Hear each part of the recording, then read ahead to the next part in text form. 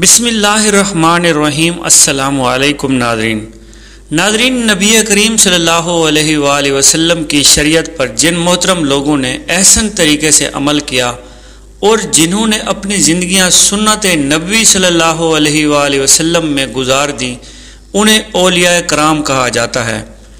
इन्हीं मुकद्दस और मोहतरम और बुरगुजीदा हस्तियों में नहायत ही मोहतरम नाम हज़रत सैदा राबिया बसरी का है। हज़रत राबिया बसरी क़यामत तक की खातन के लिए मशल राह हैं। लिहाजा इसी हवाले से आज की वीडियो में हम आपको बताएँगे कि हज़रत राबिया बसरी कौन थी, उन्होंने शादी क्यों नहीं की, और हज़रत राबिया बसरी जना से किस तरह बची, और हाँ राबिया बसरी की गलियों में फिरने वाला चौकीदार का अनोखा और सच्चा वाक़ भी आपके साथ शेयर करेंगे। और इस वीडियो के आखिर में हज़रत ख्वाजा हसन बसरी की करामात और सैदा राबिया बसरी की करामात का भी ज़िक्र करेंगे। नाजरीन, यहाँ सबसे पहले जान लीजिए कि हज़रत राबिया बसरी बड़े ऊँचे दर्जे की ताबिया हैं। ताबी वो होता है जिसने रसूल सल्लल्लाहु अलैहि वसल्लम के किसी सहाबी को ईमान की हालत में देखा हो और उसी हालत में उसका इंतकाल हुआ हो। ये मुलाकात कसीर मुद्दत के लिए हो या कलील के लिए? सहाबी और ताबी दोनों तिबकात के बारे में रसूल अक्रम वसल्लम ने इरशाद फरमाया कि उसके लिए खुशखबरी है जिसने मुझे देखा और मुझ पर ईमान लाया और उसके लिए भी खुशखबरी है जिसने इसे देखा, उसने मुझे देखा। प्यारे दोस्तों, हज़रत राबिया बसरी एक पर्दा नशीन मखदूमा और खलूस का पैकर थी। इसके इलाही की आग में जलने वाली ये खातून मरियम सानी थी। हज़रत राबिया बसरी का ये मकाम था कि हज़रत ख्वाजा हसन बसरी रहमत की मजलिस में अगर आप ना होती तो हज़रत ख्वाजा हसन बसरी वाज नहीं फरमाते थे। ख़वातीन में जो ओलिया अल्लाह गुजरी हैं, उनमें इनका बड़ा ऊँचा मकाम है। इनके बारे में लिखा है कि एक मरतबा ख्वाब में हुजूर नबी करीम सल्लल्लाहु अलैहि वसल्लम की ज़ियारत हुई और इस मौका पर अर्ज़ किया कि या रसूल अल्लाह सल्लल्लाहु अलैहि वसल्लम, मुझे माफ़ फरमा दीजिए।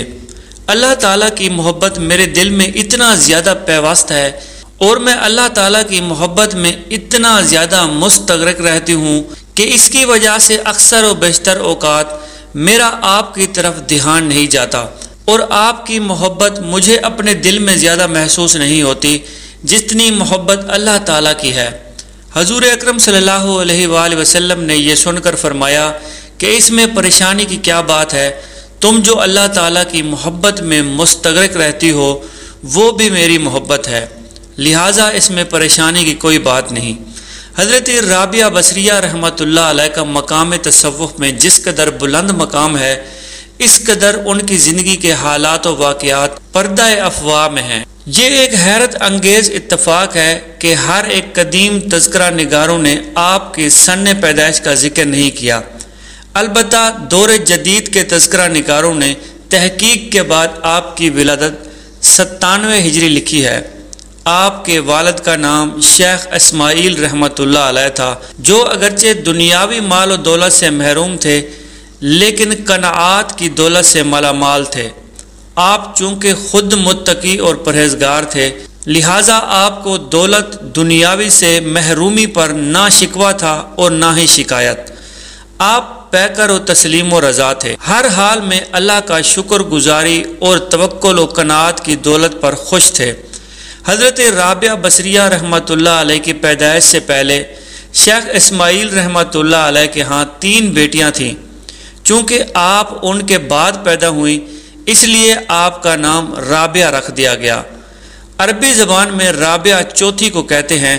कहा जाता है कि हज़रत राबिया बसरिया आधी कलंदर थीं और बसरा शहर में मुतवलद हुई तो इसलिए बसरी कहलाई। आप बहुत ज़्यादा आबिदा, जाहिदा, साबिरा, शाकिरा और कशफ़ो करामात वाली थी। बड़े बड़े ओलिया कराम आपकी मजलिस में फैज़ के लिए हाजिर होते थे। हज़रत राबिया बसरी की ज़िंदगी खातन के लिए मशल राह है, जिस पर चल कर ना सिर्फ़ दुनिया बल्कि अपनी आकबत भी संवार सकती हैं। आप एक मुत्तकी और मुतवक्ल बुज़ुर्ग हज़रत शेख इस्माइल के यहाँ पैदा हुई। आपकी विलादत के वक्त घर में फाकों की नौबत थी। लिहाजा आपकी वालदा ने हज़रत शेख इसमाइल से कहा कि कुछ पड़ोस से कर्ज ले लें ताकि ये मुश्किल वक्त गुजर जाए। आपके वालद मोहतरम ने मजबूरी के आलम में आधी रात को पड़ोसी के दरवाजे पर दस्तक दी, क्योंकि आप रहमतुल्लाह के नज़दीक गैर अल्लाह से सवाल करना गैरत ईमानी को गवारा ना था। पड़ोसी नींद में था, उसने दरवाज़ा खटकने की आवाज़ ना सुनी और ना ही उठकर दरवाज़ा खोला। बस आप खाली हाथ वापस लौट आए तो आपकी वालदा बहुत परेशान हुई। शेख साहब परेशानी के आलम में सो गए। ख्वाब में सरवर कायनात हज़रत मोहम्मद मुस्तफ़ा सल्लल्लाहु अलैहि वसल्लम तशरीफ़ लाए। बेटी की विलादत पर मुबारकबाद दी और फरमाया, इस्माइल, परेशान ना हो, तेरी ये बच्ची आरफा कामिल होगी। अगर माली परेशानी है तो सुबह हाके में बसरा के पास जाना मेरी तरफ़ से ख़त दे देना कि तुम मुझ पर हर रोज़ सौ मरतबा और हर जुमरात को चार सौ मरतबा दरूज शरीफ भेजते हो। इस जुमरात को तोहफा देना भूल गए हो। इसलिए चार सौ दिनार बतौर कफारा ख़त देने वाले को दे दो। सुबह जब शेख साहब ख़त लेकर हाके में बसरा, ईसा के पास गए तो उसने नहायत मुतबाना अंदाज में शेख साहब का शुक्र अदा किया। शेख साहब का शुक्राना अदा किया कि आपकी वजह से हजूर अक्रम अलैहि वसल्लम ने मुझे याद फरमाया। और इसी खुशी में एक हज़ार दिनार गुरबा में तकसीम किए और चार सौ दिनार शेख साहब को दे दिए। हज़रत राबिया बसरी पाँच साल की थी तो वालदेन का साया सर से उठ गया। आठ बरस की उम्र में बसरा सख्त कहत का शिकार हो गया और किसी शकील कल्ब ने पकड़कर आपको बसरा के किसी हाकिम अतीक के हाथों बेच दिया। आपका हाकिम बहुत जालिम था जिसकी वजह से हज़रत राबिया बसरी को बहुत मुश्किल का सामना करना पड़ा। लेकिन आपने हर दुख को सब्र इस्तकामत से बर्दाश्त किया। एक रात छोटे से कमरे में मट्टी के दिए की रोशनी में एक खूबसूरत बालक लड़की अल्लाह की बारगाह में नहायत खशु खसू से ज़िक्र इलाही और फ़िक्र में मशगूल थी कि उसके आका की आँख खुल गई। उसने कमरे में रोशनी देखी तो उठकर एक छोटे से सुराख से अंदर झांकने लगा।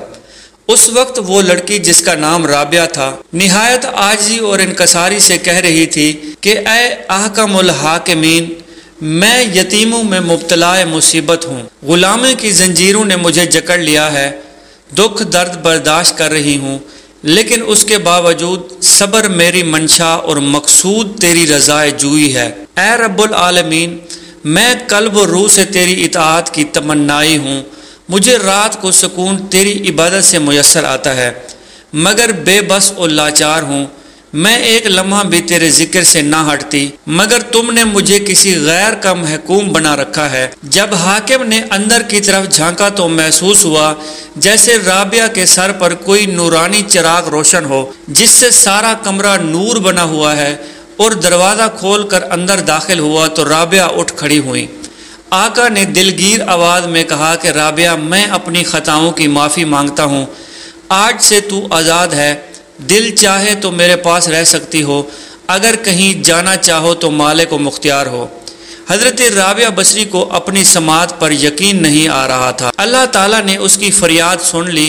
ताहम एक जालिम हाकिम से आज़ाद होने के बाद सैदा राबिया बसरी, बसरा से एक बड़े इल्म मरकज़ कोफा को चली। जहाँ उस वक्त के बड़े उलमा मौजूद रहते थे, वहाँ आपने कुरान पाक का हिफज किया। इसरार फ़िक्का व हदीस और तफसीर को खूब समझा। बहुत सी अहादीस मुबारक पढ़ी, क्योंकि उन दिनों हदीस की बुनियाद पर तालीम थी। तालीम से फरागत के बाद वो दिलो जान से इबादत और रियाजत में मशगूल हो गई। जब वो सोती तो थोड़ी देर के बाद बड़बड़ा कर उठ बैठती। हाथ फैला कर कहती कि, ए परवरदिगार तेरी मखलूक बिस्तरों में दराज उम्र है, और बादशाहों ने अपने दरवाजे बंद कर लिए हैं। हर दोस्त अपने दोस्त से महव खलवत है, और मैं तेरे सामने खड़ी हूँ। तमाम रात इबादत में मसरूफ़ रहती ब वक्त फ़जर कुरान मजीद की तिलावत करती, और दिन चढ़ने तक मनाजात करती रहती। फिर कहती कि अय अल्लाह, रात बीत गई। काश मुझे मालूम होता कि तूने मेरी सलाद कबूल फरमा ली है कि नहीं। तेरी इज़्ज़त और जलाल की कसम, मेरा यही तरीका रहेगा। जब तक तू मुझे जवाब नहीं देगा, अगर तुम मुझे अपने दर से धुतकार भी देगा तो मैं ना हटूँगी, क्योंकि मेरा दिल तेरी मोहब्बत में गिर गया है। अल्लाह ताला के इश्क मोहब्बत में उसे दुनिया की हर चीज़ से बेरगबत कर दिया था। वो थोड़ी सी गजा और तंग ढांपने के कपड़ों पर भी किनात फरमाती थी। अपनी जवानी रजाए इलाही के लिए वक्फ कर दी। हज़रत राबिया बसरी दिन रात में हज़ार रकत नमाज़ पढ़ती थी। लोगों ने इसकी वजह दरियाफ्त की तो आपने फरमाया कि मेरी मंशा अल्लाह ताला की रज़ा हासिल करना है। मैं हादी बरहक महबूब इलाही सल्लल्लाहु अलैहि वसल्लम को खुश करने के लिए ऐसा करती हूँ, ताकि वो दूसरे अम्बिया से फरमा सकें कि मेरी उम्मत की इस औरत की तरफ़ देखो, इसका अमल क्या है? इससे साबित हुआ कि रज़ाए मोहम्मद सल्लल्लाहु अलैहि वसल्लम हज़रत राबिया बसरी का मकसूद था और रोज़ी रज़ा मुलाकात की फ़िक्रमंद नहीं थी। अक्सर कहा करती थी कि मैं जन्नत के लिए इबादत नहीं करती, बल्कि मोहब्बत की वजह से करती हूँ। हज़रत राबिया बसरी ने जब जाहदाना ज़िंदगी की इब्तदा की तो उस वक्त और बाद में भी शादी के पैगाम आते रहे, लेकिन आपने इनकार कर दिया। एक वक्त हज़रत अब्दुल वाहिद बिन जहद ने जो इल्म तसवुफ़ में हज़रत राबिया बसरी का हम पल्ला थे, शादी का पैगाम दिया तो आपने उसे एक अरसा तक अपने घर ना आने दिया। किसी ने शादी ना करने की वजह दरियाफ्त की तो जवाब दिया कि जो मुझे तीन बातों से छुड़ा दे तो मैं उससे शादी करूँगी।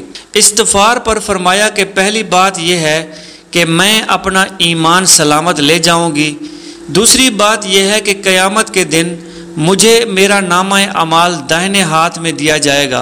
और तीसरी बात यह कि जब रोज़ महशर दाहने हाथ वाले बतरफ जन्नत और बायां हाथ वाले बजाने में जहन्नम जाएँगे तो मैं किन लोगों में शामिल होंगी? इस पर कहने वाले ने कहा कि इसका इलम तो सिर्फ़ अल्लाह ताला को है। तो हज़रत राबिया बसरी ने फरमाया कि बस यही बात है मुझे इन बातों की फ़िक्र है, लिहाजा मैं अपने शोहर के लिए क्यों कर वक्त निकाल सकती हूँ? हज़रत राबिया बसरी के ईमान और इस्तकलाल की जो कैफियत थी, उसको बयान करना मुश्किल है। एक दफ़ा आप दौरान नमाज़ सो गई। इतने में एक चोर आ गया और चादर उठाकर चल दिया। जैसे ही वो बाहर बढ़ा तो उसको दरवाज़ा नज़र ना आया। उसने घबरा कर चादर रख दी तो वो दरवाज़ा नज़र आ गया। तीन दफ़ा ऐसा हुआ।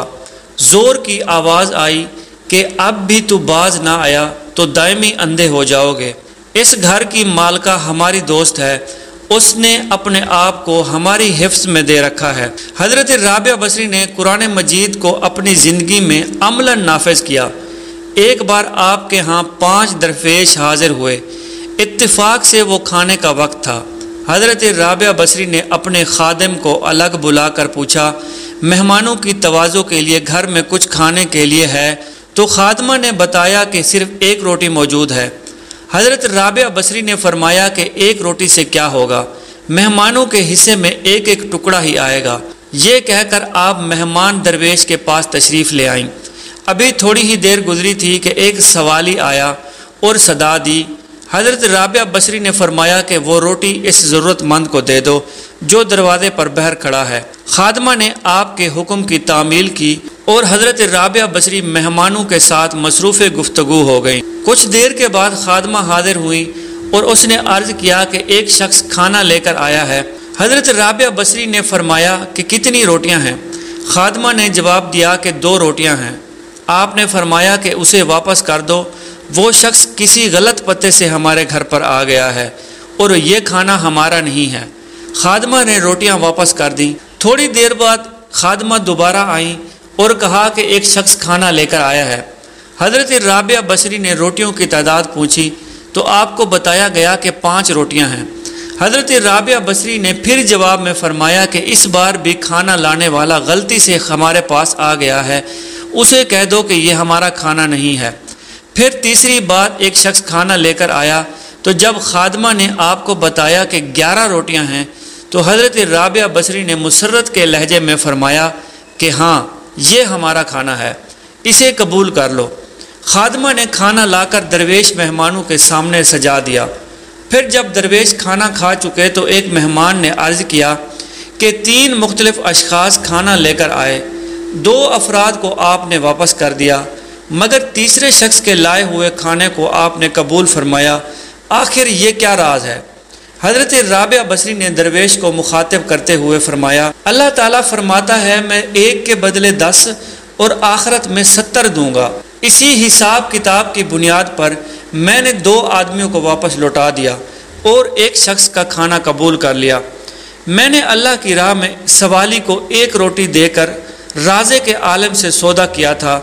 फिर एक शख्स दो रोटियाँ और दूसरा पाँच रोटियाँ लेकर आया। मैंने जान लिया कि यह हिसाब दुरुस्त नहीं। तीसरा शख्स ग्यारह रोटियाँ लेकर आया तो मैंने किसी तरद के बगैर उन्हें कबूल कर लिया कि ये एन हिसाब के मुताबिक है और देने वाले की शान रज़ा को जहर कर रहा है। दस रोटियाँ मेरी एक रोटी के बदले में थी और एक रोटी जो मैंने सवाली को दी थी, अल्लाह ताला ने वो मुझे वापस कर दी थी। हज़रत राबिया बसरी की जहद व किनात और तवक्ल की शान देखकर तमाम दरवेश हैरत ज़दा रह गए। एक मरतबा हज़रत ख्वाजा हसन बसरी को एक सुई, एक बाल और एक मोम का टुकड़ा भेजा और कहलवाया कि, मोम की तरह जहाँ की शक्ल को रोशन करो और ख़ुद को जला सुई की तरह। हमेशा अपनी जगह पर रहो और काम करते जाओ और फिर बाल की तरह सीधे रहो। ताकि तुम्हारे सब काम दुरुस्त हों। हज़रत राबिया बसरी फरमाती हैं कि औरत वो है जो खुदा से दिल तलब करे और जब दिल मिल जाए तो दिल को ऐसे वापस कर दे ताकि वो उसकी हिफाजत करे। एक मरतबा कुछ बुज़ुर्ग आपकी खिदमत में हाजिर हुए। आप रहमत ने पूछा कि तुम अल्लाह की इबादत किस गर्ज से करते हो? उस शख्स ने कहा कि आतिश दोजक के खौफ से। दूसरे ने कहा कि जन्नत के लिए। आपने फरमाया कि ये खौफ तमा की इबादत तो बहुत बुरी है। पूछा, फिर आप किस के लिए इबादत करती हैं? कि आपको कोई परेशानी नहीं है। फरमाया कि पहले हमसाए की तलाश करो। फिर घर की तलाश होनी चाहिए। इसलिए जन्नत और दोजक का अदम वजूद बराबर है। अगर जन्नत और दोजक ना होती तो इसकी इबादत ना की जाती। कितना अच्छा होता कि उसकी इबादत उसके लिए की जाए। सब खामोश हो गए। आप एक मर्द कामिल की सी अकल रखती थी। मुश्किल से मुश्किल मसला भी आप आसानी से हल कर दिया करती थी। आपकी महफिलों में बड़े बड़े बुज़ुर्ग तशरीफ़ लाया करते, जिनमें हज़रत सुफियान सोरी, मालिक बिन दीनार हज़रत साल, हज़रत शफ़ीक बल्कि रहमत काबिल ज़िक्र हैं। एक मरतबा जब रगबत दुनिया पर गुफ्तु हो रही थी तो हज़रत राबिया बसरी ने हज़रत सुफियान सोरी से फरमाया, तुम बेहतर सूफ़ी होते अगर दुनिया की मोहब्बत ना होती। हज़रत सुफियान ने पूछा कि आपने किस चीज़ में रगबत देखी है? तो आपने फरमाया कि तुम बातें बहुत करते हो। उसे हज़रत राबिया बसरी की मुराद ये थी कि दुनिया की बातें करने से कुछ हासिल नहीं होता, जो आम लोग करते रहते हैं। आपकी अलालत की खबर पाकर हज़रत सुफियान सूरी रहमत की अयादत के लिए गई। आपकी इतनी हैबत थी कि आप खामोश रहीं, वहाँ ज़बान से कुछ न निकला। आखिर आपके फरमाने पर सुफियान सूरी ने कहा कि आप अपनी सेहत के लिए दुआ कीजिए। फरमाया कि जानते हो कि अलालत उसके हुक्म के बगैर मुमकिन नहीं। और फिर ऐसा कैसे कहते हो कि मैं उसकी मर्ज़ी के ख़िलाफ़ ऐसे क्यों दरख्वास्त कर सकती हूँ कि दोस्त की मर्ज़ी के ख़िलाफ़ ऐसा करना दुरुस्त नहीं? पूछा कि किस चीज़ की ख्वाहिश है? फरमाया कि बारह बरस से तुर्की खुरमा खाने को दिल चाहता है, जो बहुत अरसा फ़रोग होते हैं। लेकिन मैंने नहीं खाए कि कनीज़ नो और कनीज़ की कोई आरज़ू नहीं हो सकती। दरअसल सच्चा आशिक तो महबूब की मर्ज़ी में अपनी खुशी तलाश करता है। प्यारे दोस्तों, हज़रत राबिया बसरी 1200 साल पहले इस दुनिया से रुखसत हो गई और एक आला करदार की औरत थी, जिन्हें अरब हो या अजम सब लोग जानते हैं। दुनियावी लिहाज से हर ऐबों में से ऐब थे और ना वो खूबसूरत थी और ना ही कोई आला ख़ानदान की थी। वो एक ग़ुलाम थी और इसके साथ साथ रंग की भी बहुत अच्छी नहीं थी। नाजरीन ग्रामी, एक रिवायत में मिलता है कि आपकी शादी भी हुई थी, लेकिन वो औलाद के काबिल नहीं थी, बांझ थी। लेकिन अल्लाह के बेहद करीब थी। रात के वक्त अपने खावन से पूछती थी कि उन्हें किसी चीज़ की ज़रूरत तो नहीं। अगर वो कहते कि नहीं तो राब बसरी जाए नमाज़ पर खड़ी हो जाती और फजर की अजान तक अल्लाह की इबादत करती रहती। लेकिन वो जवानी में बेवा हो गई। एक रिवायत में ये भी आता है कि हज़रत हसन बसरी, जो कि बसरा के इमाम थे, खुद चल कर अपनी शादी का पैगाम लाए। इस लालच में कि राबिया बसरी की वजह से उनकी बख्शिश हो जाएगी। राबिया बसरी ने फरमाया कि मेरे चार सवालों का जवाब दे दो, मैं आपसे शादी कर लूँगी। मैं जनती हूँ या दोस्त की? जवाब आया, ये तो मैं कुछ नहीं कह सकता। नंबर दो कहने लगी कि ये बताओ कि जब अल्लाह ताला क़यामत में अमाल नामे उठाएगा तो किसी के सीधे हाथ में आएगा और किसी के उल्टे हाथ में आएगा? मेरा अमाल नामा मेरे सीधे हाथ में आएगा या उल्टे हाथ में? कहने लगे कि ये कुछ भी नहीं बता सकता। नंबर तीन, राबिया बसरी कहने लगी कि ये बताओ कि जब अल्लाह नेकियों को तोलेगा तो किसी की नेकियाँ बढ़ जाएँगी और किसी के गुनाह, मेरे गुनाह ज़्यादा होंगे या नेकियाँ? जवाब में कहने लगे कि ये भी नहीं पता। नंबर चार अच्छा ये बताओ कि जब लोग पुल सिरात पार करने लगें तो कुछ गुजर जाएँगे और कुछ रह जाएँगे। मैं पार कर लूँगी या दोजख में गिर जाऊँगी? तो आप रहमतुल्लाह कहने लगे कि मुझे ये भी नहीं पता। तो फिर राबिया बसरी ने फरमाया कि जाओ, मुझे इन चार बातों की तैयारी करनी है। मेरे पास शादी के लिए कोई वक्त नहीं है। एक दिन राबिया बसरी उठी सालन पकाने के लिए तो देखा कि प्याज नहीं है, क्योंकि ना कोई बेटा था और ना ही बाप और ना ही कोई खादमा और ना ही शोहर। अफसोस में पड़ गई कि प्याज कहाँ से लाऊं। इतने में एक चील ऊपर से उड़ती हुई जा रही थी कि उसके पंजों में प्याज था। जब वो चील ऊपर आई तो उसने पंजे छोड़ दिए और प्यास सीधा राबिया बसरी की गोद में आ गया। क्योंकि जो अल्लाह ताला से दोस्ती लगाते हैं तो अल्लाह तबारक व ताली उनकी परिंदों के ज़रिए भी मदद करते हैं। जो अल्लाह ताला से दोस्ती लगा देते हैं, अल्लाह ताला उनके लिए मुसखर कर देता है। अल्लाह दुनिया उसके पाँव में डाल देता है। एक मरतबा हज़रत हसन बसरी रहमत ने कहा कि आप शरीयत के मुताबिक शादी कर लें। फरमाया कि शादी उसके लिए है जिसका कोई वजूद हो। ना मेरा वजूद है और ना ही मैं अपने आप मालिक हूँ। अल्लाह ताला की ममलूक हूँ। ये सवाल उससे कीजिए। पूछा कि अल्लाह ताला को किस तरह जानती हैं? फरमाया कि जिस तरह तुम जानते हो, उसी तरह मैं जानती हूँ। एक दफ़ा कुछ और लोगों ने भी आपसे कहा कि आप शादी कर लीजिए। फरमाया कि तीन फ़िक्रों से मुझे बेफिक्र कर दीजिए, मैं ज़रूर शादी कर लूँगी। क्या मैं दुनिया से अपना ईमान सलामत लेके जाऊँगी? दूसरा ये कि रोज़े मैशर मेरा नामा अमाल दाएँ हाथ में दिया जाएगा। तीसरा ये कि क़यामत के रोज़ जब दाएँ जानब से बहश्त और बाएँ जानब से दोजख में लोग पहुँच जाएँगे तो मुझे किस जानब से पहुँचाया जाएगा? लोगों ने कहा कि इसका इलम तो खुदा के पास है। फरमाया कि जिसे इतनी अफकार और अवाम पेश हों भला वो शोहर की खिदमत कैसे कर सकती है? नाजरीन, कहा जाता है कि एक दफ़ा आगाज़ मौसम बहार में आप बैठी हुई थी। खादमा ने अर्ज़ किया कि मौसम बहुत लुत्फ़ अंदोज़ है। आप बाहर तशरीफ़ ले आएँ और सान हकीकत और उसकी सनत को मुलहजा फरमाएँ। जवाब दिया कि मेरा काम तो साने को देखना है, ना कि सन्नत को। अगली मरतबा हज़रत ख्वाजा हसन बसरी को एक सुई, एक बाल और एक मोम का टुकड़ा भेजा और कहलवा दिया कि मोम की तरह जहान को रोशन और मुनवर रखो और ख़ुद को जलाओ, सुई की तरह हमेशा अपनी जगह रहो और काम करते जाओ। रिवायत में आता है कि कुछ लोगों ने सैदा राबिया बसरी की आजमाइश के लिए अर्ज़ किया कि खुदा ने फ़जाइल मर्दों को बहुत दिए हैं और मर्दों में अम्बिया बहुत हुए हैं। कभी किसी औरत को मरतबा नबूत नहीं मिला, आपको रुतब विलायत नहीं मिल सकता। फिर बनावट करने से क्या फ़ायदा? आपने कहा कि तुम्हारा कौल दुरुस्त है, लेकिन ये बताओ कि दुनिया में आज तक किसी औरत ने खुदाई दावा किया है या कोई औरत भी मुखन्नस हुई है?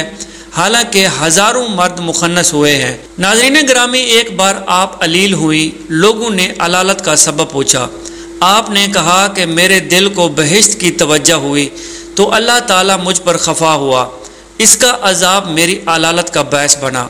हज़रत हसन बसरी, हज़रत मालिक बिन दीनार, हज़रत शफीक बल्खी, हज़रत राबिया बसरिया के यहाँ थे, और सिद्ध की बाबत में आपस में तस्करा हो रहा था।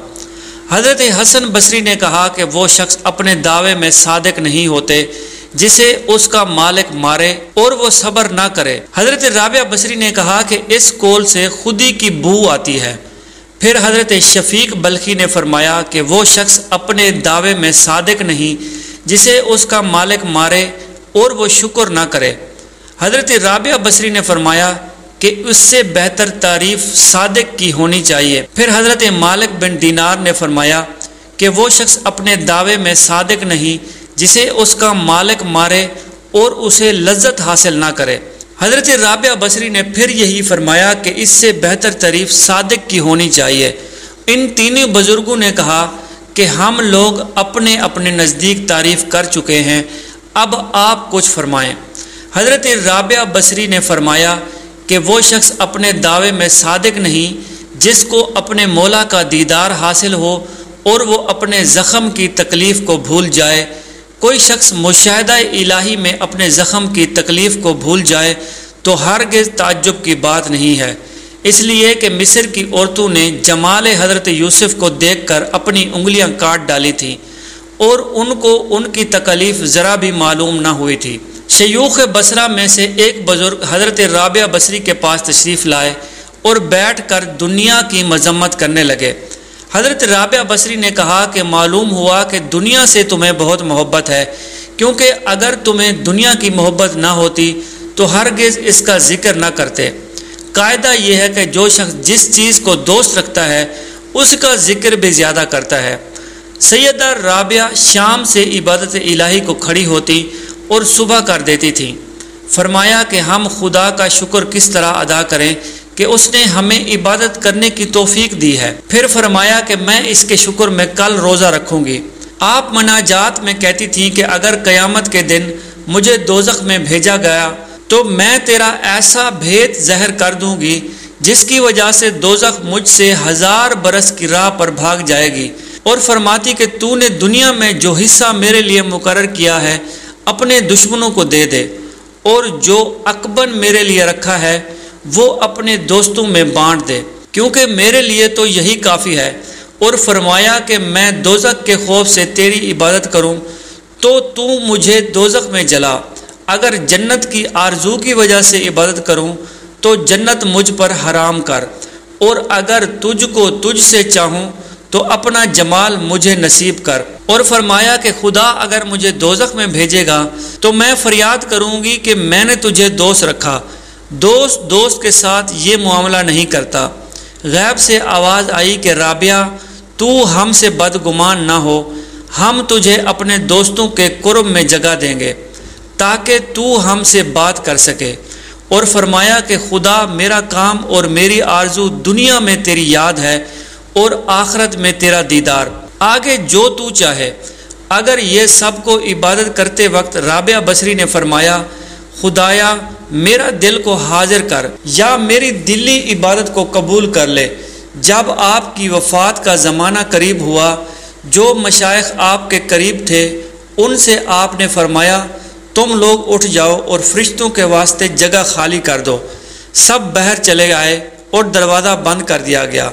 एक आवाज़ सब लोगों ने सुनी, वो आवाज़ ये थी ए नफ्स मुतमैना अपने परवरदिगार की तरफ़ रजू कर। उसके बाद देर तक कोई आवाज़ ना आई। लोग अंदर गए तो देखा कि आपका विशाल हक हो चुका था। आपने इस दुनिया फ़ानी से कूच फरमाया। किसी ने आपको ख्वाब में देखा, पूछा कि मुनकर नकीर से क्या मामला हुआ। आपने जवाब दिया कि जब मुनकरीन आए, मुझसे उन्होंने पूछा कि तेरा रब कौन है? मैंने कहा कि पलट जाओ और खुदा से कहो कि जब तूने एक औरत को बावजूद इसके कि तुझे तमाम मखलूक का ख्याल था, कभी फरामोश ना किया, फिर वो क्यों कर तुझे भूल जाती? हालाँकि दुनिया में उसे तेरे सिवा किसी से इलाका ना था। अब फरिश्तों के ज़रिए उससे सवाल करता है, प्यारे दोस्तों, इस सवाल के मुतालिक तस्दीक के हवाले से कुछ लोगों का कहना है कि ये वाक़ दुरुस्त नहीं है। क्योंकि कब्र के मामला सिर्फ़ अल्लाह की ज़ात जानती है और कब्र में किस से क्या होना है, ये कोई नहीं बता सकता। और अगर बात ख्वाब की की जाए तो ख्वाब पर कोई शरय हजत नहीं है। ख्वाब को हकीकत तस्लीम नहीं किया जा सकता। बहरहाल दोस्तों, ये अल्लाह ही बेहतर जानता है कि क्या मामला है। प्यारे दोस्तों, जब हज़रत राबिया बसरी के हुसन जमाल के इलाके में धूम थी तो एक नौजवान एक दिन शादी की ख्वाहिश लेकर उनके घर जा पहुँचा। दरवाज़ा खुला देखकर अंदर दाखिल हुआ। तो सामने क्या था और नौजवान वहाँ से कैसे वापस लौटा? ये सब कुछ आपके साथ शेयर कर रहा हूँ। ये वाक़ सीरत राबिया बसरिया सफ़र नंबर तिरतालीस पर लिखा हुआ है कि इब्तदा में हज़रत राबिया बसरी के हुसन जमाल की धूम मची हुई थी। मगर जवानी के शब रोज़ ने उन्हें याद इलाही में गुजार दिए। उनके चेहरे पर पाकिजगी का ऐसा नकाब था कि देखने वालों की निगाहें खुद ब खुद जुड़ जाती थीं। उसी ज़माने में एक नौजवान उन्हें रात के वक्त एक कब्रिस्तान में चाँद की तरह चमकते हुए देखा। वो आपको कोई गैर मराई यानी ख्याली मखलूक समझ कर भाग खड़ा हुआ। लेकिन दूसरी सुबह जब वही चेहरा उसे बसरा के बाज़ार में नज़र आया तो वो अक्ल खुद से हाथ धो बैठा और दिन रात उसी के तस्वुर में रहने लगा। आखिर दिल के हाथों मजबूर हो गया। तो लोगों से पता पूछा कि हज़रत राबिया बसरी के घर जा पहुँचा। राबिया बसरी कहा करती थी कि दिल के दरवाजे हमेशा खुले रखो। क्या मालूम कि महबूब किस वक्त दस्तक दे दे। मगर घर के दरवाजे बंद हों या खुले हों, उनकी दास्त में बराबर थे। नौजवान को खिलाफ तवक्ल का दरवाज़ा खुला हुआ मिला तो उसने अपने दिल की धड़कनों पर बड़ी मुश्किल से काबू पाया। रात का वक्त था, अंदर चिराग रोशन था। ये सोच कर अंदर दाखिल हुआ। ये सोच कर के हाल दिल सुना देते हैं, क्या हर्ज है, ज़्यादा से ज़्यादा इनकार हो जाएगा। वापसी का दरवाज़ा बहरहाल खुला हुआ है, लेकिन जब वो अंदर पहुँचा तो वहाँ कोई नहीं था। अलबत् छत से पुरसोज आवाज़ आ रही थी, जैसे कोई जेर लब हिजर का रोना रो रहा है। नौजवान तेज़ी से जीने चढ़ गया। हज़रत राबिया बसरी इशा की नमाज़ से फारग होकर सना खानी कर रही थी। परवरदिगार सितारे रोशन हो गए हैं, लोग सो गए हैं, बादशाहों ने दरवाजे बंद कर लिए हैं। हर महबूब अपने महबूब से राजो नियाज है, मैं तेरे सामने खड़ी हूँ। नौजवान पर सख्ता तारी हो गया। इसी असना में राबिया बसरी ने पलट कर उसे कहर आलूद नज़रों से देखा और उसकी जबान तंग हो गई। राबिया बसरी उसके करीब आकर पूछती हैं कि तुम मुझसे शादी की दरख्वास्त करने आए हो? नौजवान ने लरसते हुए हाथ से ज़ुबान की तरफ़ इशारा किया कि वो बोल नहीं सकता। हज़रत राबिया बसरी ने कहा कि इससे पहले कि तेरी ज़ुबान की तरह तेरा दिल भी चुप हो जाए जिस रास्ते से आए हो, उसी रास्ते से वापस लौट जाओ। नौजवान सिर्फ़ आँखों से इल्तजा कर सकता था कि, नेक खातून मेरी गोयाई मुझे वापस दे दे। मैं तेरे बर्तबे से वाकिफ नहीं था। मुझसे गलती हुई, मुझे माफ़ कर दे। लाइन में हमेशा काबिल माफ़ी होती है। उसकी खामोश सांसों के जवाब में हज़रत राबिया बसरी ने नौजवान को कहा, तूने अगर मुझसे कोई ज्यादती की होती तो मैं तुझे यकीनन माफ़ कर देती। मैंने खुद को पहले अल्लाह के हवाले कर दिया है। अब ये मामला तेरे और अल्लाह के दरमियान है। माफ़ी मांगनी है तो उसी से मांग। और सिद्ध के दिल से जब तू तो तोबा करेगा तो शायद अल्लाह ताला तुझे माफ़ कर दे और तोबा की खातिर तेरी ज़ुबान खुल जाए। ये कहकर हज़रत राबिया बसरी नमाज़ में मशगूल हो गई। नौजवान भी बेख्तियार सजदे में गिर गया और वो रो रहा था। नामालूम के कब तक रोता रहा। जब उसे होश आया तो जबान खुल चुकी थी और तोबा तोबा का विरद कर रही थी। बसरा के बाजारों में साला साल तक एक मनसूब गर्मी, झाड़ और बरसात से बेनियाज होकर दीवाना वार तोबा तोबा के नारे लगाता रहा। उसके नारों से बसरा की रातें गूंज उठती थीं और बच्चे सहम कर माँ के सीनों में छुप जाते थे। और आखिर एक दिन वो मजजूब अचानक कहीं गायब हो गया और फिर उसका पता ना चला। ये जो भी मजकूरा नौजवान था, जो राबिया बसरिया की बदौलत ही दरबार खुदाबंदी में मुकरब ठहरा। नाजरीन, एक रिवायत में यह भी मिलता है कि आप गाती बजाती थीं। फिर तायब होकर एक जंगल में गोशा नशीन हो गई। फिर जिस वक्त सफ़र हज पर गई तो आपका जाती गधा जो था, वो बहुत कमज़ोर था। जब आप उस पर सामान लाद कर रवाना हुई तो रास्ते में गधा मर गया। ये देखकर अहले काफिला आपको तनहा छोड़कर आगे बढ़ गए। आपने बारगाह खुदाबंदी में अर्ज़ किया कि नादिर आजिज के साथ यही सलूक किया जाता है कि पहले उसे अपने घर की जाने मदू किया, फिर रास्ते में गधे को मार डाला और मुझे जंगल में तनहा छोड़ दिया। अभी आपका ये शिकवा ख़त्म नहीं हुआ था कि गधे में जान आ गई और उस पर सामान लाद कर दोबारा आदम में मक्का हुई। जब आप मक्का पहुँची तो चंद रोज बयाबान में क्याम करके रब की बारगाह में अर्ज़ किया कि मैं इसलिए दिल गिरफ्ता हुई कि मेरी तख्लीक तो खाक से हुई है और काबा पत्थर से तमीर किया गया है। इसलिए मैं तुझसे बिला वास्ता मुलाकात की ख्वाहिश हूँ।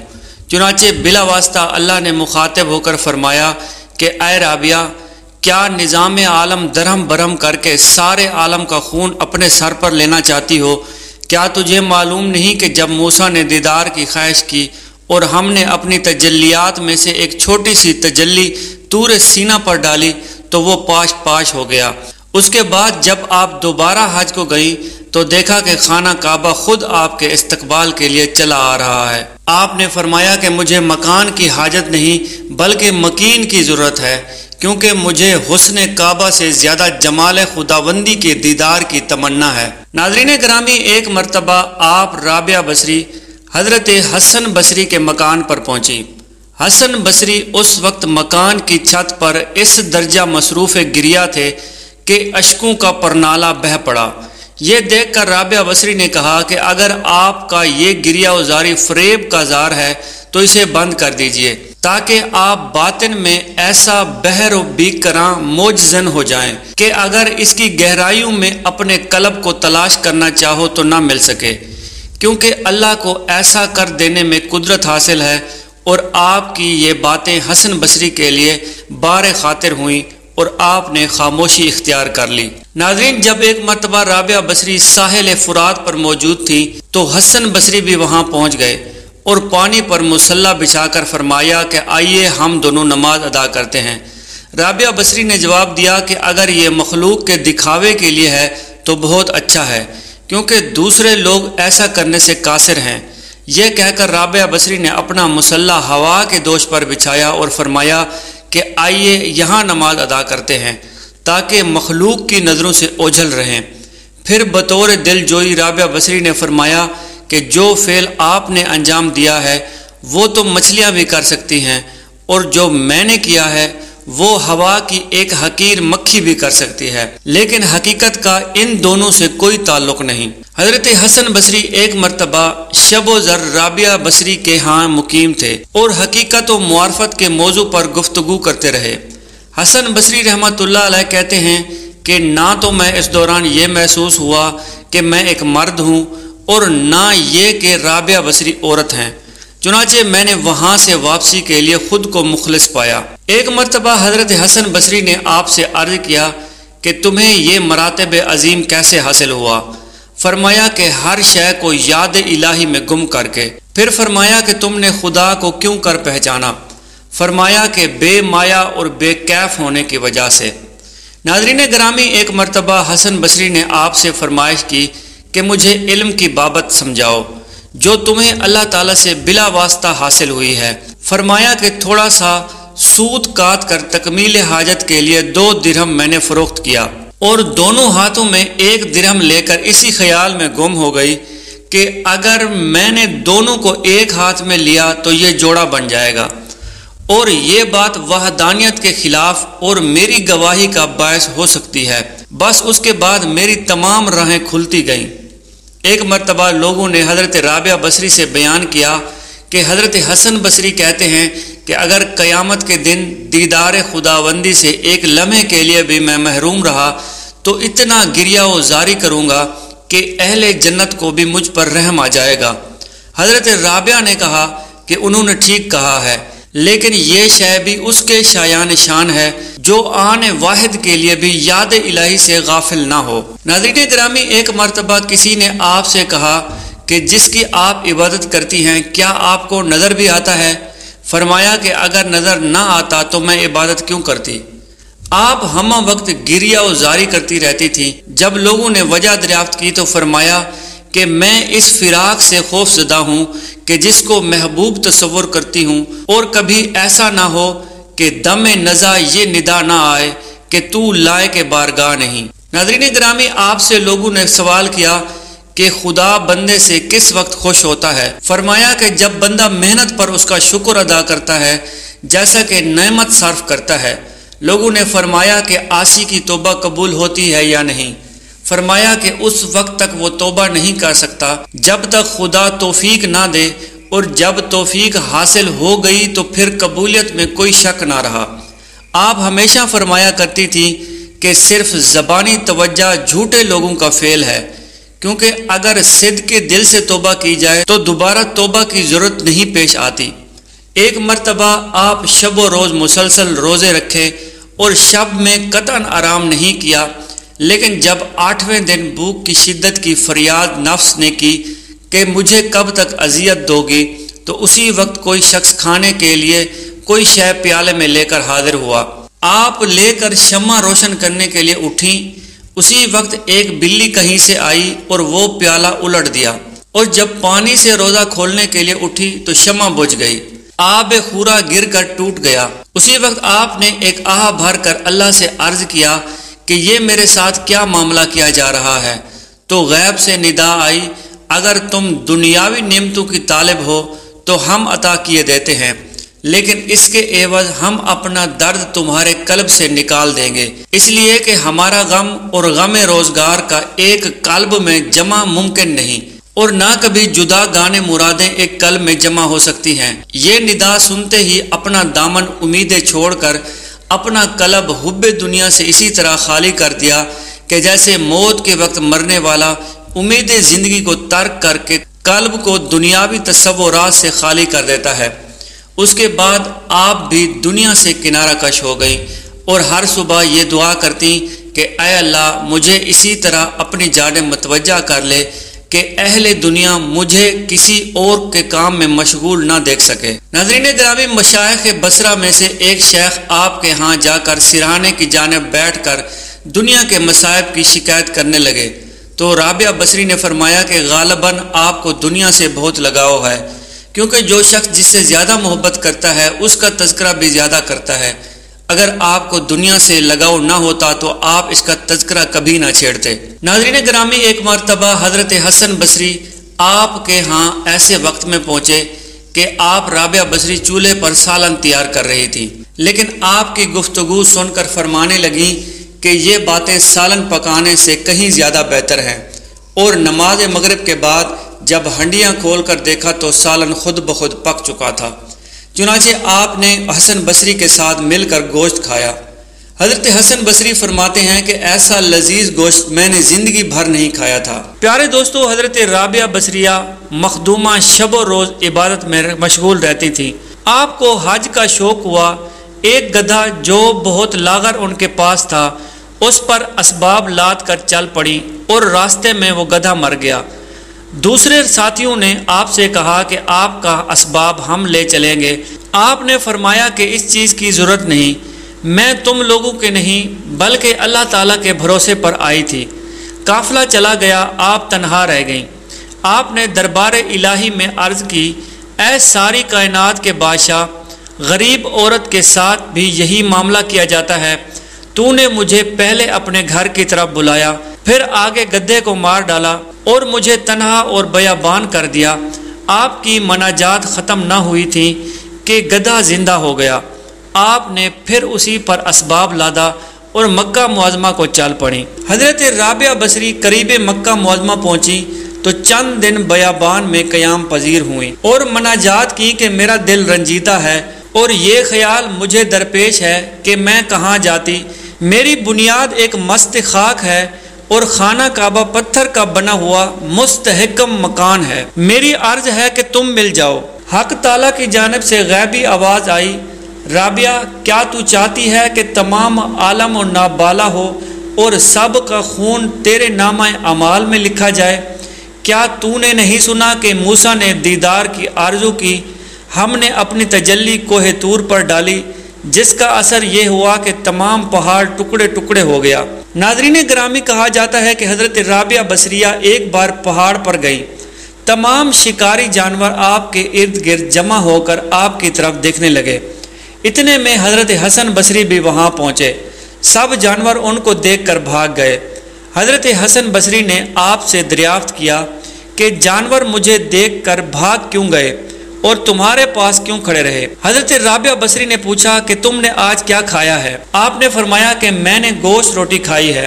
हज़रत राबिया बसरी ने कहा कि जब तुमने उनके भाइयों का गोश्त खाया है तो वो तुमसे क्यों ना भागें? आपसे हज़रत हसन बसरी रहमत ने पूछा कि तुमने ये मर्तबा क्यों कर पाया? आपने फरमाया कि मैंने कुल मौजूदात को खुदा की याद में गुम कर दिया। हज़रत ख्वाजा हसन बसरी ने पूछा कि तुमने खुदा को क्यों कर जाना? आपने फरमाया कि मैंने बीचू चरा खुदा को पहचाना। एक बार लोगों ने आपसे पूछा कि आप कहाँ से आई हैं और कहाँ जाएँगी? फरमाया कि मैं उस जहान से आई हूँ और उसी जहान में जाऊँगी। उन्होंने पूछा कि आप इस जहान में क्या करती हैं? फरमाया कि अफसोस। लोगों ने पूछा तो जवाब दिया कि इसलिए अफसोस करती हूँ कि मुझे रिज्क इस जहाँ से मिलता है और मैं काम उस जहाँ के करती हूँ। लोगों ने आपसे पूछा कि आप जिस खुदा की इबादत करती हैं, उसको आपने देखा है? आपने फरमाया कि अगर मैं उसको ना देखती तो उसकी परस्तिश क्यों करती? आप हमेशा रोया करती थी। लोगों ने रोने का सबब दरियाफ्त किया तो आपने फरमाया कि मैं उसकी जुदाई से डरती हूँ। लोगों ने पूछा कि जब गुनाहगार तोबा करता है तो उसकी तोबा कबूल होती है या नहीं?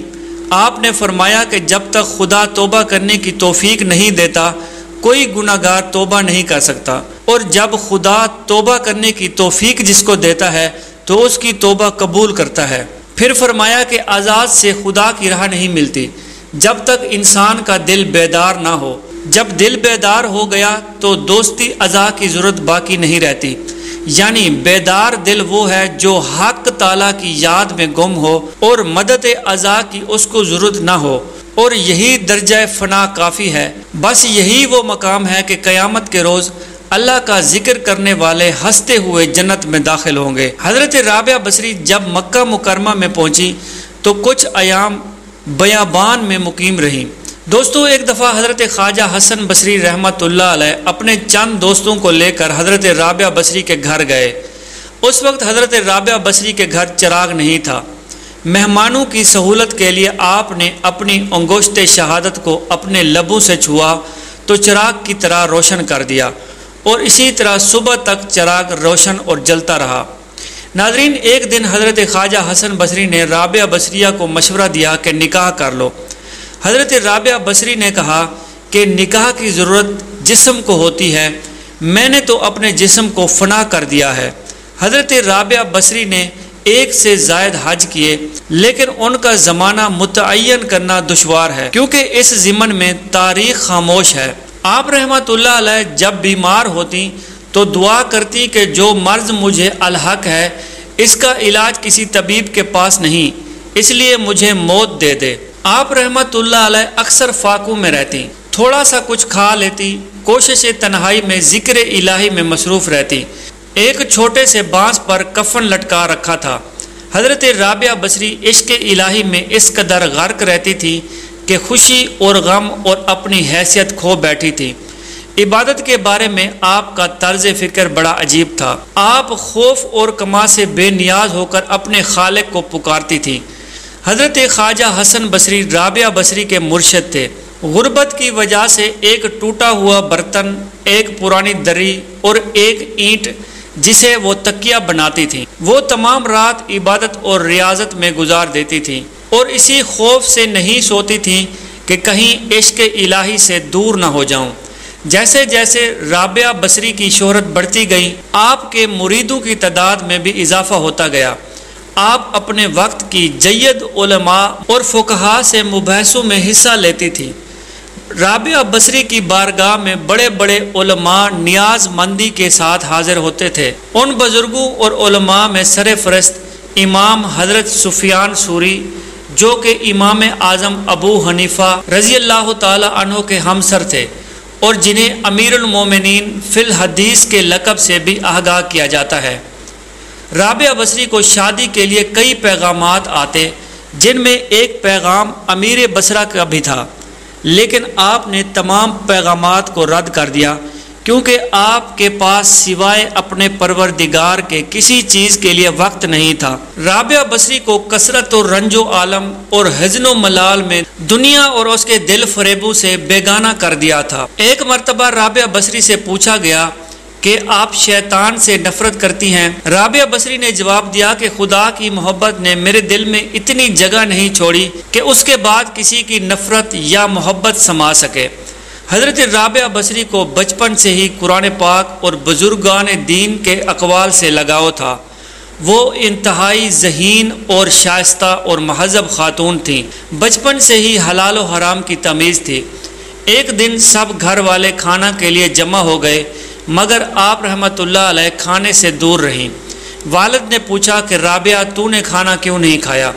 उन्होंने नहायत गमगीन लहजे में जवाब दिया कि, मैं सोच रही हूँ कि ये खाना हराम है या हलाल। वालद ने जवाब दिया कि, बेटी, ये कैसी बात है, हम क्यों हराम खाएँगे? और फरमाया कि, इस दुनिया में हमें भूख पर सब्र करना चाहिए ताकि आखिरत में आग पर सब्र न करना पड़े। आखिरी अयान में आपने खाना पीना बिल्कुल छोड़ दिया था। जब मौत का वक्त करीब आया तो खादमा से कहा कि मेरी वफात का इल्म ना हो। जो जुब्बा मैं पहनती हूँ, वो सामने लटका हुआ है। इसी का कफन दिया जाए और सिर को सियाह चादर से ढांप दिया जाए। और जब आपकी रूह मुबारक इस दुनिया से परवाज कर गई तो कलमा शहादत आप पढ़ती रहीं। चुनाचे आपकी वफात के बाद आशिका सादका को बसरा में ही सपुर्द कर दिया गया। आप रहमत की ज़िंदगी से ये सबक मिलता है कि मार्फत इलाहिया के दरवाज़े मर्द औरत के लिए खुले हैं। उसकी राह पर हजूर नबी करीम सल्लल्लाहु अलैहि वसल्लम के फ़रामीन की रोशनी में चलना हमारा काम है। बाकी फ़जल करम अल्लाह ताला की ज़ात है, वो सजदों को शर्फ कबूलियत बख्शे या ना बख्शे। राबिया बसरी एक बहुत बड़ी नेक, आबिदा, जाहिदा खातून थी। आज लोग उन्हीं की इबादत की मिसालें देते हैं। जब उनकी वफ़ात का वक्त करीब आया तो उनके शागिर्द ख़वातीन और लड़कियाँ उनके इर्द गिर्द बैठी हुई थीं। उन शागिर्दों ने दरख्वास्त की कि हमें कुछ नसीहत करें। तो राबिया बसरी ने फरमाया कि कभी भी बग़ैर निकाह के ना रहो। और फिर अपना वाक़ सुनाया कि जब मैं आधी रात को मुसल्ले पर बैठ कर अल्लाह की इबादत करती थी तो उस वक्त गलियों में फिरने वाला चौकीदार जब मेरे घर के सामने से गुज़रता तो मेरे दिल में बुरे बुरे वसवसे आते थे। उस वक्त सारे लोग सोए हुए होते थे, कोई भी नहीं देख रहा होता था। अल्लाह का करम हुआ कि मुझे उसने जिना से महफूज रखा। इस वाक़े से आप अंदाज़ा लगा सकते हैं कि राबिया बसरी जैसी पाक दामन, आबिदा जाहिदा ख़ातून को ऐसे वसवसे आते थे। तो आज कल इस गंदे मुआशरे में जहाँ हर तरफ़ बेहयाई, बेपर्दगी और बेदीनी का माहौल है, ऐसे में कौन औरत है जो अपने आप को बचा पाएगी? फरमाया कि निकाह के बगैर ज़िंदगी का इस्लाम में कोई तस्वुर नहीं। अल्लाह ताला के नबी अकरम सल्लल्लाहु अलैहि वसल्लम ने भी शादियाँ की और बायक वक्त नौ बीवियाँ छोड़कर इंतकाल फरमाया। अल्लाह ताला के रसूल अकरम सल्लल्लाहु अलैहि वसल्लम सुबह करते इसी हाल में अहलो अयाल के पास गुर्बत के बैस खाने को कुछ ना होता और शाम को करते तो यही हालत होती। मगर उसके बावजूद नौ बीवियाँ छोड़कर इंतकाल फरमाया। अल्लाह ताला के नबी अकरम सल्लल्लाहु अलैहि वसल्लम ने बग़ैर निकाह के ज़िंदगी गुजारने से मना फरमाया। ख़वातीन हजरात एक दफ़ा हज़रत ख्वाजा हसन बसरी रहमत ने राबिया बसरी से कहा कि आप शरीयत के मुताबिक शादी फरमा लें। फरमाया कि शादी उसके लिए होती है जिसका कोई वजूद हो। यहाँ ना मेरा कोई वजूद है और ना ही मैं अपनी मालिक आप हूँ। आपने तकरीबन 88 साल की उम्र पाई। आपने आखिरी सांस तक इश्क इलाही की लजत और सरशारी को अपना शुआर बनाए रखा। यहाँ तक कि आखिरी सांस तक महबूद हकीकी की मोहब्बत का दम भरती रहीं। आखिरी वक्त भी आपने अपने वली और सूफ़ी साथियों को बताया कि मेरा महबूब व मबूद हमेशा से मेरे साथ है। ख़वान हजरात हमें हज़रत राबिया बसरी की ज़िंदगी से सबक मिलता है कि अल्लाह की पहचान के दरवाज़े मर्द औरत सब के लिए खुले हैं। नाजरीन, जब रात को राबिया बसरी का इंतकाल हुआ तो राबिया बसरी ने अपनी खादमा से कहा कि दो चार आदमी बुलाकर मुझे जल्दी से दफन कर दो और फिर सुबह ऐलान कर देना। और अपने खादमा से कहा कि मुझे इसी चादर में दफन कर देना जिसमें मैं तहजत पढ़ा करती थी। और उन्होंने ऐसा ही किया, रातों रात आपको दफन करके सुबह लोगों को बताया तो लोगों में शोर मच गया कि हाय, हमें क्यों नहीं बताया? तो अगली रात उनकी खादमा ने उन्हें ख्वाब में देखा कि राबिया बसरी ने सब्ज रंग का लिबास पहना हुआ है। हुसन जमाल से उनका चेहरा चमक रहा है पूछा कि आपके साथ क्या हुआ तो आपने फरमाया कि मेरे अल्लाह ने मेरे साथ बहुत उम्दा रवैया किया है। आपने पूछा कि आपकी वो चादर कहाँ गई? फरमाया कि वो अल्लाह ने ले ली है और मुझे जन्नत का लिबास पहना दिया है और वो चादर क़यामत के दिन मेरी नेकियों में तोली जाएँगी। वो चादर क़यामत के दिन जब मेरी नेकियाँ तोली जाएँगी तो वो चादर भी मेरी नेकियों में शामिल होगी। यहाँ पर नाजरीन, ख्वाजा हसन बसरी की करामात के हवाले से आपको आगाह करते चलें कि ख्वाजा हसन बसरी रहमत ज़िंदगी के इब्तदाई आयाम में मोतियों और जवाहरात के सौदागर थे। किस्म किस्म के मोती और जवाहरात की आप तजारत करते और बड़े बड़े बादशाहों के पास तोहफे जवाहरात में ले जाकर पेश करते थे। एक दफ़ा कुछ जवाहरात हरकल बादशाह रूम के पास ले गए। पहले वज़ीर से मिले और अपने आने और बादशाह की खिदमत में तोहफा लाने का बयान किया। वज़ीर ने कहा कि कल तो बादशाह के पास एक निहायत ज़रूरी काम है, इसलिए फुर्सत ना होगी। वो काम देखने के काबिल है। हज़रत हसन बसरी ने कहा कि मैं ज़रूर देखूँगा। वज़ीर ने हज़रत हसन बसरी को ले जाकर एक जगह मैदान में ठहराया। जिस मैदान में एक खैमा जरी कैम था, उसके आसपास आला दर्जे का माकूल फाज था, जिसकी तनाब जरी की थी, जिसके चूबे चांदी के थे और मेखें सोने की थी। नहायत काबिल दीद मंजर था। वज़ीर ने हज़रत ख्वाजा हसन बसरी को खैमा के अकब में चिल्लैन के पीछे खड़ा कर दिया कि जिस जगह से हज़रत ख्वाजा हसन बसरी ने सारा तमाशा देखा, लेकिन वो खैमा दरअसल शाह अरकल के अज़ीज़ फरजंद की कब्र में खड़ा था और आज उसकी सालाना बरसी का दिन था। बादशाह सालाना रस्म ताज़ियत अदा करने के लिए यहाँ आया था। हज़रत ख्वाजा हसन बसरी ने देखा कि पहले एक जमात मुकद्दस ईसाई लोगों की खैमा के अंदर आई और कब्र के पास खड़े होकर पढ़ने लगी और फिर रोते हुए आगे निकल गई। उसके बाद एक तबीबों की जमात और इंतहाई अहले अकल लोगों की आई ये लोग भी नंगे सर कब्र के पास खड़े होते रहे और थोड़ी देर के बाद निकल कर चले गए। उसके बाद फौज के अफसरों की जमात नंगी तलवारें लेकर खेमे के अंदर आई और कब्र की सलामी उतार कर नाकाम वापस लौट गई। फौजी लोगों के बाद एक झुंड नौजवान औरतों का आया, जिनके सर के बाल खुले और उनके हाथों में सोने की थालियाँ थीं, जिनमें मोती और जवाहरात भरे थे। उन औरतों ने कब्र का तवाफ किया और फिर थोड़ा सा रो कर ये भी खेमे से बाहर चली गई। उसके बाद बादशाह खुद खैमे के अंदर आया और कब्र के पास खड़ा होकर कहने लगा, बेटा, तू मुझे बहुत प्यारा था, मगर अफसोस के तू मर गया। अगर मुझे यह मालूम हो जाए कि जिसने तेरी जान ली है, वो इन बड़े बड़े राहों और पादरियों का मान कर तेरी जान वापस कर देगा। ये बड़े बड़े ईसाई राहब इस काम के लिए तेरे पास हाजिर हैं, मगर मैं जानता हूँ कि इनके कहने से कुछ ना होगा। अगर ये मालूम हो जाए कि तदबीर करने से तेरी जान खुदा तुझे बख्श देगा तो ये बड़ी बड़ी जमात, तबीबों और बड़े बड़े अक्लमंदों की तेरी कब्र के पास खड़ी है और तेरी रिहाई की तदबीर करने के लिए मौजूद है। और मैं जानता हूँ कि तुझे ऐसे ज़बरदस्त ज़ात ने पकड़ा है कि उसके सामने किसी की तदबीर नहीं चलती। ए फरजंद, अगर तुझे ये मालूम हो जाए कि जिसने तेरी जान निकाली है, वो किसी बड़ी फौज से डर कर तुझे छोड़ देगा तो ये कसीर फौज और फौज के अफसर तुझे कैद से छुड़ाने को तेरी कब्र के पास मौजूद हैं। लेकिन जिसने तुझे कैद किया है, वो ऐसा ज़बरदस्त खुदा है कि कोई फौज उसके सामने कोई हस्ती नहीं रखती। ए फरजंद, अगर मुझे ये मालूम हो जाए कि जिसने तुझे मारा है, वो हसीन और ख़ूबसूरत औरतों का तालब है और हसीन औरतें लेकर तुझे छोड़ देगा तो ये खूबसूरत औरतों की जमात हाजिर है। मगर मैं जानता हूँ कि वो हस्ती औरतों की ना तालब है और ना ही माल और जवाहर की खास गार और बतौर किस तरह ना छोड़ेगा। इसलिए मैं तुझ पर एक साल के लिए रुखसत होता हूँ। ये कहकर बादशाह खेमे से बाहर निकल आया और सब लोग कब्र के पास से रुखसत हुए।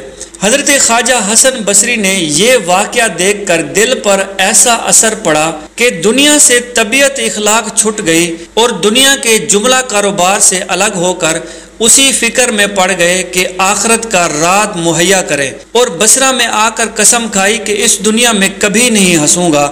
और फिर इबादतों और मुजाहिदा में कुछ इस तरह मशगूल हो गए कि उस ज़माने में कोई वैसा ना था। सत्तर बरस तक ताज़ा दम व जीस्त रहे और बेवजू ना हुए। एक मरतबा रात के वक्त ख्वाजा हसन बसरी अपने घर में बैठे ज़ारो कतार रो रहे थे। आपके अकीदतमंदों ने अर्ज़ किया, या हज़रत, आप क्यों रोते हो? आप पर तो अल्लाह ताला का बड़ा फजलो करम है। आप इबादत गुजार और मुत्तकी और परहेजगार हैं। आपका शुमार अल्लाह ताला के मकबूल बंदों में होता है। फिर आपके रोने का सबब क्या है? हज़रत हसन बसरी ने इर्शाद फरमाया कि मैं इस ख्याल से रो रहा हूँ कि कहीं मेरी ना समझी और भूल से कोई ऐसा काम मुझसे सरजद ना हो गया हो, जो मेरे परवरदिगार को नापसंद हो। मैंने गलती से अपना कदम किसी ऐसी जगह पर ना रख दिया हो, जिस पर मुझे ना रखना हो। कहीं ऐसा काम मुझसे ना हो गया हो कि अल्लाह ताला के हाँ मेरी कोई इबादत कबूल ना हो। एक बार हज़रत ख्वाजा हसन बसरी ने अपने मुलाजिम को कहा कि मेरे लिए बाज़ार से नान और मछली ला। जब वो लाया और सामने रखी तो आपने फरमाया कि माज अल्लाह गुनाहगार बंदे को ऐसा लजीज खाना खाने से क्या सरोकार? नौकर ने कहा कि हुजूर, मैंने तो आपके इरशाद पर नान और मछली लाया हूँ। आप रोने लग गए और चालीस दिन तक कोई चीज़ न खाई और फरमाया कि ए मेरे नफ्स, मैंने तुझे इसी की सज़ा दी है कि तूने लजीज खाने की ख्वाहिश क्यों की? प्यारे दोस्तों, कुरान और हदीस की रोशनी में उम्मत मुसलमा की हर मसलक का ये अकीदा है कि अल्लाह ताला के हुक्म से, उसके बुरगुजीदा बंदू से ऐसी करामात रूनुमा होती हैं जिन्हें इंसानी अकल बज़ाहिर कबूल नहीं करती। ताहम अकीदे की बुनियाद पर उनका यकीन किया जाता है। मशहूर ताबी हज़रत उतब बिन अगलाम अल्लाह से तीन चीज़ों की दुआ मांगते थे। अच्छी आवाज़, वाफिर मकदार में आँसू और बग़ैर कुछ किए खाना। चुनाचे जब वो तिलावत करते तो खुद भी रोते थे और दूसरों को भी रुलाते थे। आँखों से आँसू काफ़ी देर तक जारी रहते थे और जब अपने घर जाते तो घर में खाने की चीज़ें खुद ही मिल जाती और उन्हें मालूम नहीं होता कि ये चीज़ें कहाँ से मैसर होती हैं। मशहूर ताबी हज़रत अब्दुल वाहिद बिन जैद फालज का शिकार हो गए। उन्होंने अल्लाह ताला से दुआ की कि वज़ू करते वक्त उनके आज़ाद दुरुस्त हो जाएँ। चुनाचे जब वो वज़ू करते थे तो उनके आज़ाद दुरुस्त हो जाते थे। वज़ू से फरागत के बाद उनके अजाब पहले की तरह मफलूज हो जाते थे। मशहूर ताबी हज़रत उमर बिन अतबी एक दिन नमाज़ पढ़ रहे थे। सख्त गर्मी थी। अचानक बादल उन्हें उन पर साया करने लगे। जब वो जिहाद में अपने साथियों की सवारियों को चराते थे तो चीर फार करने वाले जानवर भी सवारियों की हिफाजत करते थे।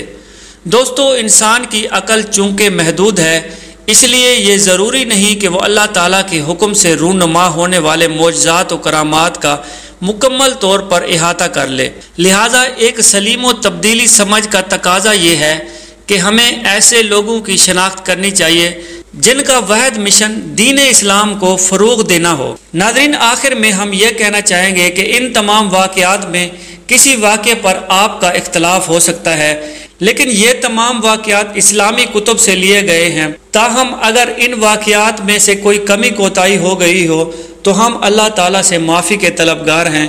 आखिर में हम दुआ करते हैं कि अल्लाह ताला इन नेक बुज़ुर्ग हस्तियों के सदक़े हमारे हाल पर भी रहम करम फरमाए और हमें भी नेक अमल करने की तोफ़ी अता फरमाए और हमारा ख़ात्मा ईमान पर फरमाए। आमीन या रब्बुल आलमीन।